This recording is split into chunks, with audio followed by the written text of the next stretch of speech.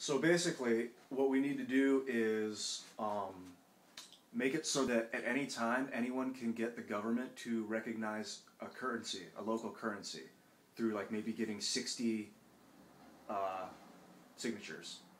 And that should be something that people can do. Anytime anyone wants a localized currency. Localizing currency as far as, or localizing currency instead of uh, instead of globalizing currency.